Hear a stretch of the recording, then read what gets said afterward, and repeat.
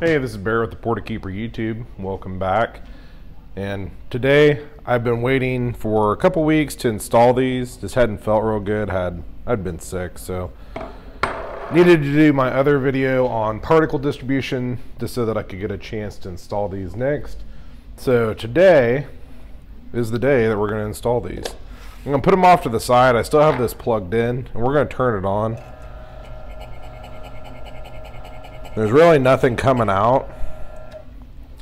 So, unplugged, doesn't turn on or off. And we're just going to see kind of like what the buildup is on the inside. So, have the Portakeeper anti-popcorn. Make sure to check that out on portakeeper.com website. Um, also have like the turn tilter, so it's your cup tilter that we also sell. And then last but not least, I know that they are shipping with these ugly metal dials, but we sell this plastic dial that I think looks a lot better. Um, mine doesn't have a screw in it, but you get the point. I take them on and off all the time just for different colors and stuff. So what we're going to do is we're going to open this up. Make sure it's turned off. I'm to reposition. So let's open up the top and just take a look. I have not cleaned this at all. I actually haven't opened it up in several weeks. Pretty much since I did my video showing you the burrs maybe a month ago. I haven't used it absolutely every day, but I've used it almost every day since I got it. So take that top ring off. We're going to set that aside. And here's kind of the moment of truth. That is pretty sparkling. You have your just natural ground stuck in your burrs. I'm actually going to zoom in on this. That's just using a bellow every day, every time I grind. And this has quite a few pounds through it, so it's not like I haven't used it. A little bit at the chute, which is to be expected. I am extremely impressed. So I'm going to use my brush. Let's clean it up just so I can kind of show you what perfectly clean might look like. Move this back.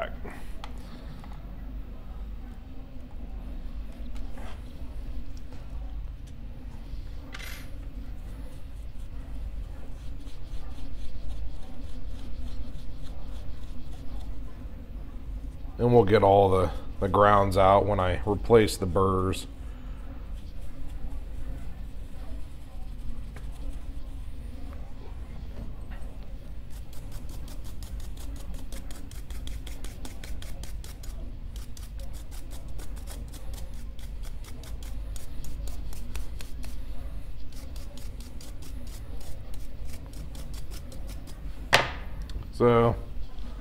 There it is. I consider pretty much perfectly clean. Uh, you can dig the screw holes out if you want. I don't recommend loosening them if you're not swapping the burrs.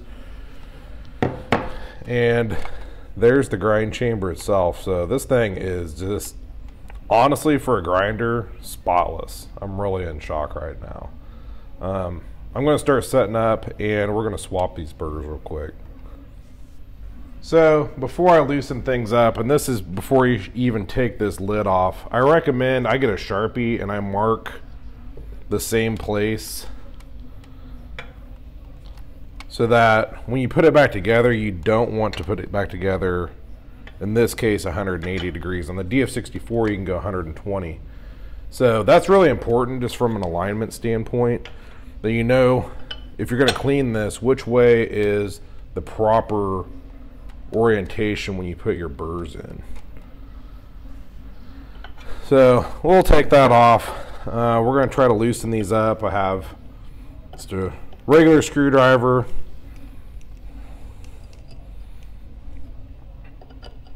Sometimes it can be really easy. Sometimes it can be really difficult to get loosened, especially if you have a lot of buildup in your screws. Kind of like this one.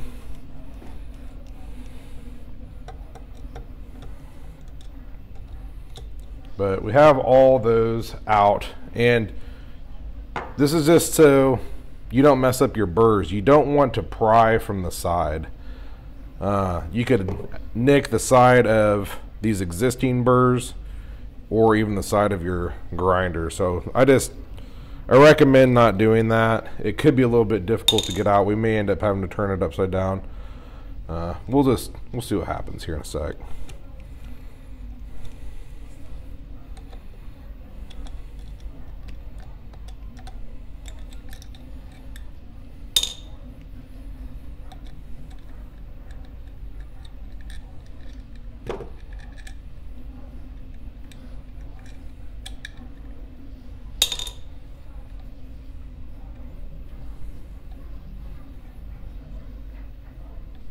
Me go try to get some pliers or something. Okay, that did the trick. I just dug at it a little bit with a screwdriver. There's still some stuck to the sides. But there's our stock bottom burr.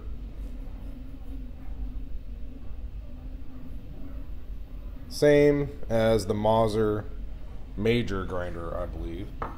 Um, something that I want you just to know is that there is, oops, this rubber o-ring that they have in the middle. So make sure if you're cleaning out this grind chamber real good, you want this to be just very clean and ready for your new burrs.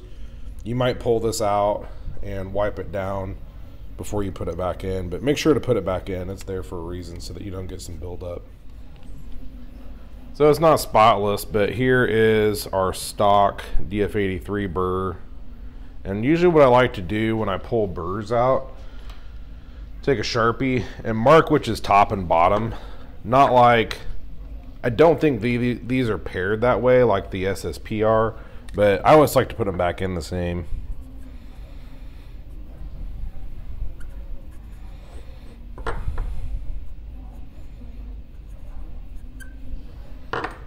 So that's my recommendation.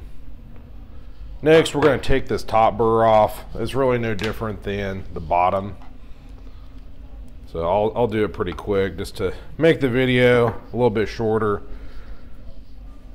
Okay, all three of those screws are loosened. We're just going to lift it off, same as the bottom. And I just want to note again that there's another one of these O-rings. So if you're cleaning this out, which I recommend you do, make sure to clean this O-ring really good just kind of give it a wipe down with a rag in your fingers just to get all that oil and build up off. There's really not much on it, but you don't want it throwing off your alignment. I recommend if you're able, try to dig out as much of the grounds and the screws or use a little bit of compressed air. I cleaned this whole grind chamber out. Pretty much spotless now. And we're going to start installing these burrs. I don't know if I'm going to show you the entire alignment process if they're not aligned perfectly, but I have another video that I'll throw a link to. So you want to look, and you do have a top and a bottom burr. So make sure you're using the right one. And what we're going to do is we're just going to start with the top and make sure that our O-ring is nicely centered. So to do the final tightening, what I usually do is I'll start with one and just start snugging it up and you'll want to go in a circle. Kind of like tightening lug nuts on your car. And then I like to just give it a little bit more force each time. You don't want to just tighten one side down and then go the next one and tighten it down.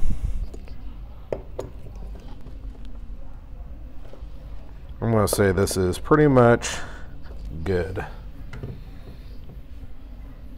So now we're going to do the same with this bottom burr. Last chance to check to make sure you grab the right burrs. Make sure that you have your O-ring in place. This one doesn't fit real snug. I don't know how yours is, but drop this in place and line up with the holes. This one's going to be a little bit more difficult to tighten down because that bottom burr carrier does spin. But we're just going to do the exact same thing of Just getting them barely tight and moving to the next. We'll tighten everything down here in a sec.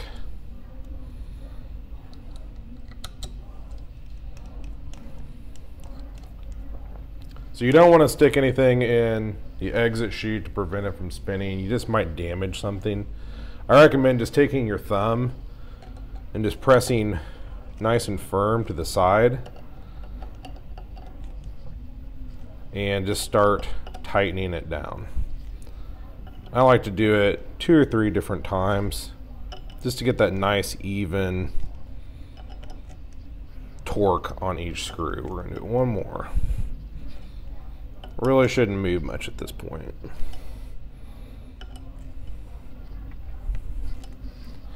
So there is our top and bottom burr. Now the alignment might be off. I still want to make sure to reuse the X and also make sure to put your spring back in.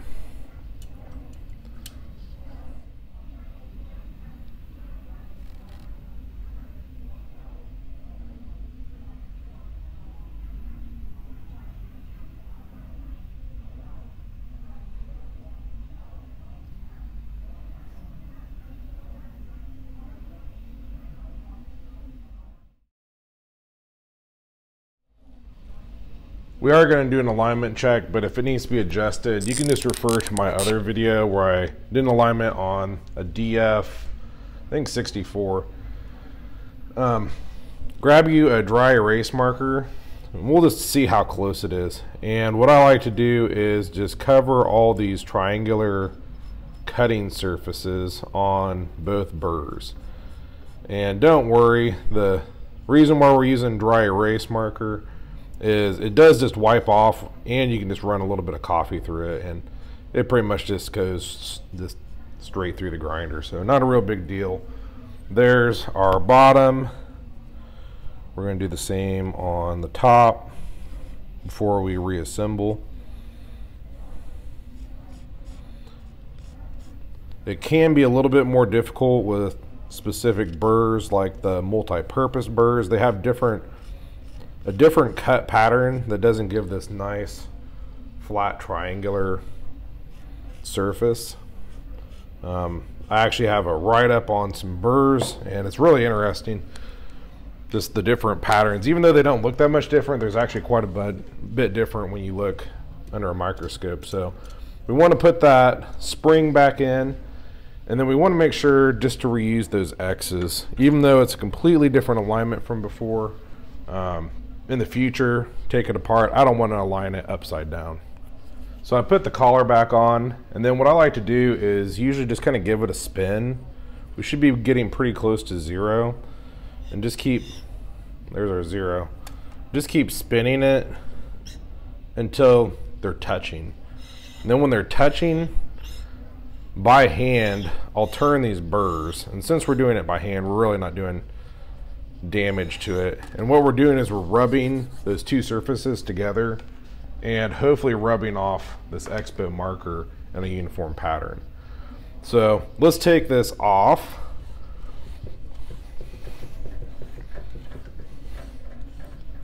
And take a quick look to see if the burrs are aligned well.